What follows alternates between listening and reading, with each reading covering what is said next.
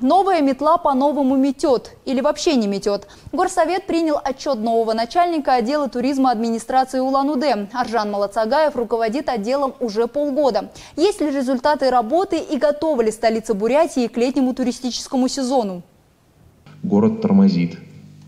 И город не, не подает заявку. Я их тормошу, а они ничего не делают. У депутатов Горсовета возникли вопросы к работе главного по туризму. По их мнению, она велась недостаточно активно. К примеру, городской отдел развития туризма поздно отправил заявку на федеральный грант. Сегодня что? Вот начался туристический сезон. Уже июнь. Уже туристы поехали. Что здесь делается? Что здесь сделано? Что сейчас? На 130 миллионов, да, хорошее будущее, если мы победим.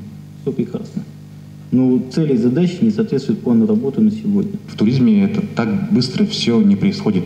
Меры, которые сейчас предприняты, они дадут эффект э, с течением времени. Моментально это бывает очень редко. Для этого нужно какое-то прям Э, монументальные события, которые, соответственно, и бюджет должны иметь большой. Мы договорились о следующем, о том, чтобы э, они нам представили план на второе полугодие с текущим финансированием и э, с тем, чтобы они хотели видеть. Мне кажется, многие тоже будут готовы помочь и поддержать. Поэтому ну, как бы не только все упирается прямо в отсутствие денег. Планы развития у отдела туризма есть, а вот дел пока маловато. В Горсовете считают, уже сейчас необходимо устраивать больше событийных мероприятий и активнее участвовать в грантовых конкурсах. Вероника Иванова, Жаргал Ирдынеев, телекомпания ТВ.